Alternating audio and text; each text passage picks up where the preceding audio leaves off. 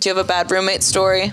Oh my gosh. Or what's like I the had- pettiest fight that you got in with a roommate? Oh. She would take my stuff and like my underwear, and I saw Wait, your underwear? my underwear. Like, would she sniff them or wear them? What'd she do wear with 'em, it? Wear them, and I was like, I, I, I still to this day, I'm like, did she think that they were like see them on the floor and think that they were? Because I'm like, I no, can't- no girl. No girl sees a pair of underwear Yeah. and is like, those are mine. Absolutely not. The only time we do it is when we go shopping together and buy the exact same set Yeah. because we like it. And then I'm like, is this one yours? I have two. So one of them's yours.